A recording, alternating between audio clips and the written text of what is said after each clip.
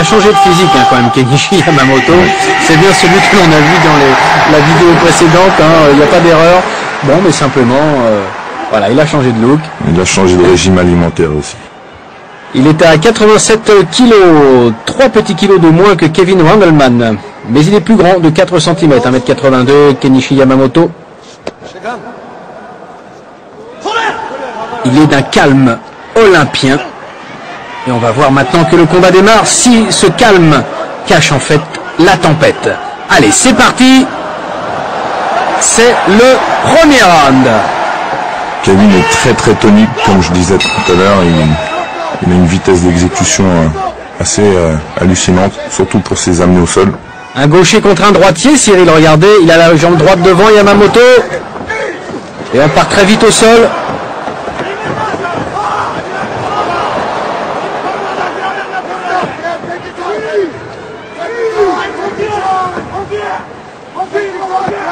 Très bon contrôle de lutteur. Il encercle la, la tête avec son bras et prend une bonne position avec son corps. Ah, il est certain qu'au niveau masse musculaire, il y a un gouffre entre les deux hommes.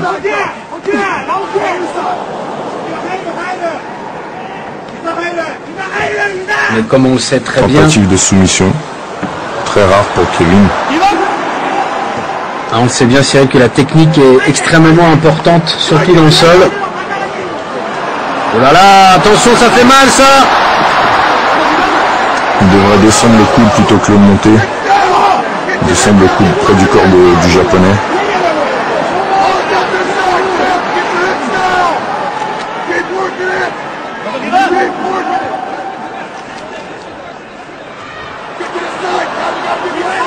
Il tente le passage en force dès le départ, Kevin Randleman.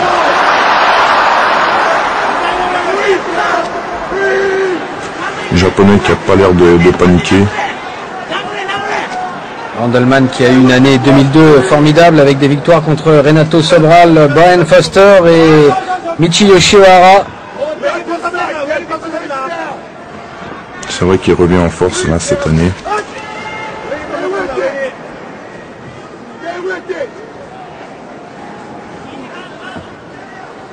Après une petite pause quand même.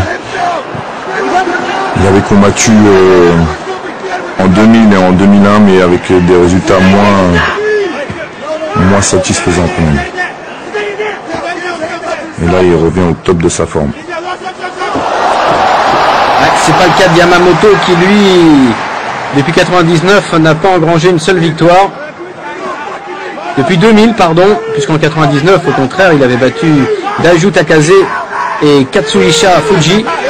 Mais l'année 2000, eh bien, il perd par étranglement en guillotine face à Pat Miletic.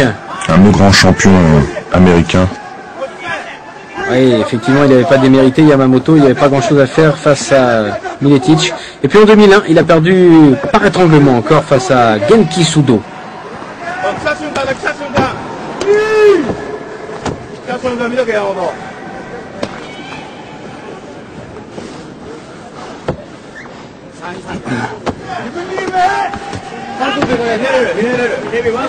On a l'impression que Yamamoto garde son énergie, la gère beaucoup mieux que Randleman qui tout de suite s'est donné à fond. Et attention car les muscles c'est bien, mais ça fatigue plus vite le cœur. Il faut les alimenter en oxygène.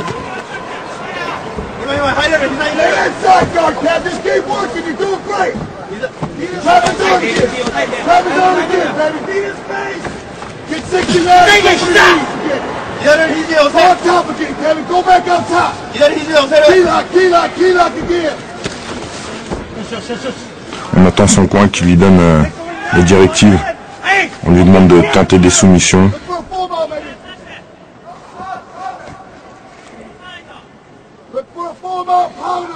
Is. Voilà. Et c'est la même qu'il tente à nouveau. Pour l'instant, un très bon contrôle de la part de, de Randleman qui garde son adversaire sous lui. Pour l'instant, euh, le japonais n'a pas grand chose à faire. Non, sinon laisser passer l'orage et puis attendre une faille pour pouvoir euh, l'exploiter et renverser la situation.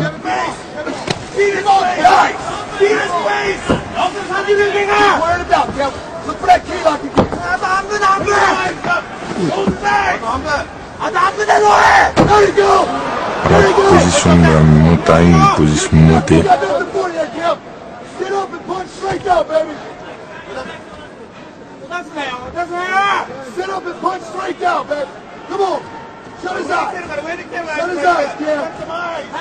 On retente la même clé. Et cette fois, il l'applique un peu mieux. Il faudrait qu'il arrive à descendre le coude près du corps. Ah voilà, un joli En renversement. c'est ça qu'il attendait, Kenichi Yamamoto. Et ça repart debout. Et là, on a pu admirer les qualités de souplesse du japonais. hein. Voilà, touché. La clé aurait fait mal. Le japonais qui a été touché sur le crochet là, qui a fait l'ascenseur comme on dit.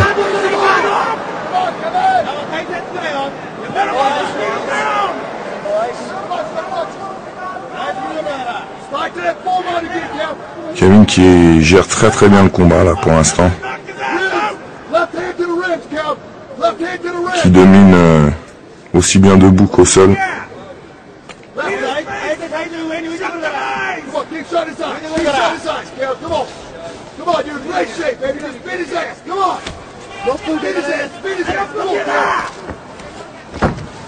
Les directives du coin américain qui sont pas toujours euh, bons à traduire. Non, non, on va s'en abstenir de toute façon. On peut comprendre le sens. C'est une lutte euh, terrible. Un joli coup de genou là qui est passé. Non, il y a un style euh, beaucoup plus fin d'un côté, celui du japonais, et un style plus brutal avec l'américain. Les physiques déjà parlent d'eux-mêmes. Allez, encore une clé, attention Au moins, il a le mérite de faire des tentatives systématiques, Kevin Randleman.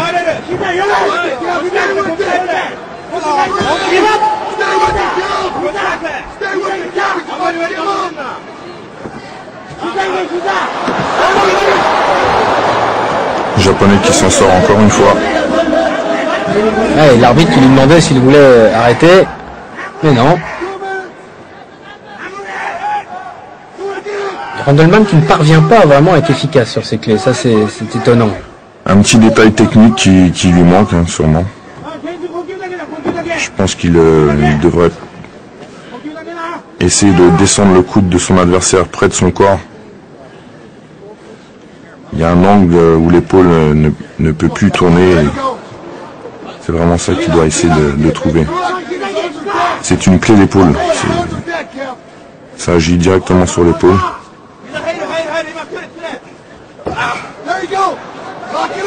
on a entendu le japonais. Ouais, mais le japonais accompagne justement pour éviter d'arriver à cette saturation.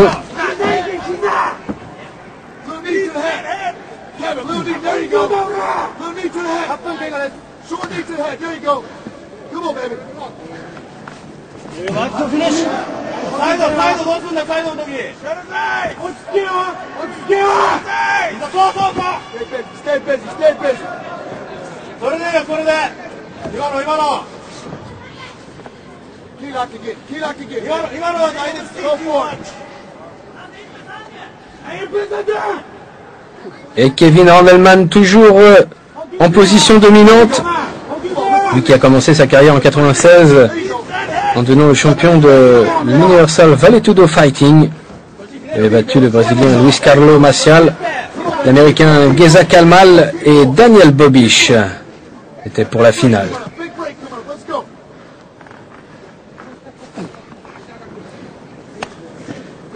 En 97, il avait fait un peu moins bien puisqu'il n'avait fait que finaliste de cet Universal Valetudo. Il avait perdu justement en finale face à Tom Erickson.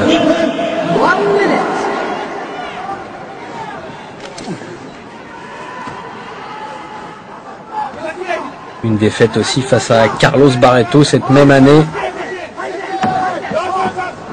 Et à noter qu'en 99, il euh, remportait un combat face à son compatriote euh, venu sur le tard au combat libre, ex-grand champion de kickboxing, Maurice Smith. Les Valetido sont des compétitions brésiliennes qui sont les, formes les, les plus, euh, les plus libres du combat libre. Là où il y a vraiment très peu de règles. Même droit au coup de tête. Oui, là on va évidemment très très loin. Le combat libre euh, a changé. On se rappelle des premiers combats dans la cage, dans les UFC, où il n'y avait pas de gants non plus. Et tout était permis, sauf les doigts dans les yeux.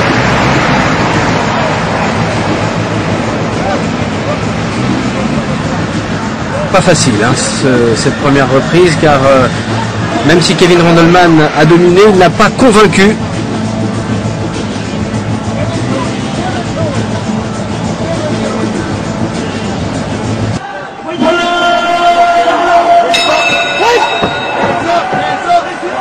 Ah et on passe directement à la troisième reprise. Sachez que dans le deuxième round, eh bien, on est resté dans la même configuration. Et on avance dans ce match.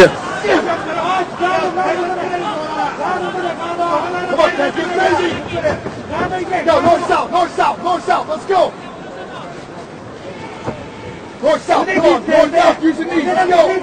On lui demande de, de- de changer de position, de passer la hanche au-dessus de la tête. Ouf, un coup de genou. pour se servir de ses genoux, genoux justement.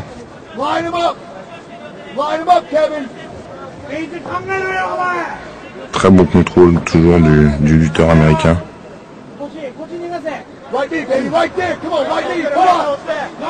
Allez, on lui demande maintenant effectivement de taper avec le genou droit.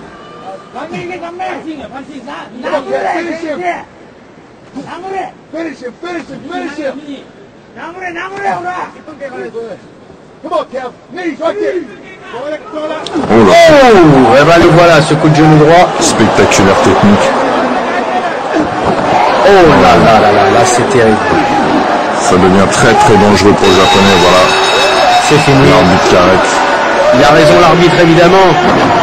Vu le poids de Kevin Randleman, 100 kilos, comme ça, avec la prise d'élan et le genou qui redescend en plein sur le crâne de Kenichi Yamamoto, il était temps d'arrêter.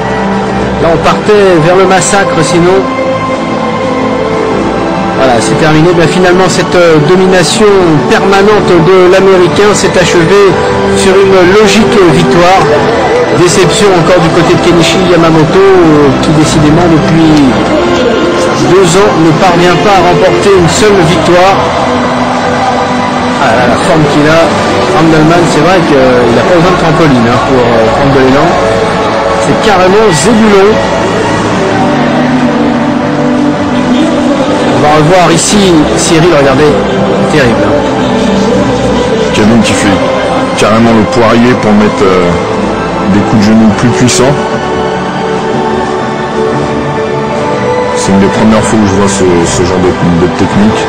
Généralement, c'est les Brésiliens qui le font. C'est vrai que c'est une des premières euh, au Pride.